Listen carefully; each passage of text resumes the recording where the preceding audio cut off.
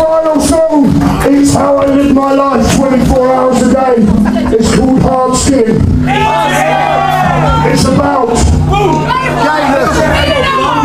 being a skinner. A bit hard, obviously. So, it's good night.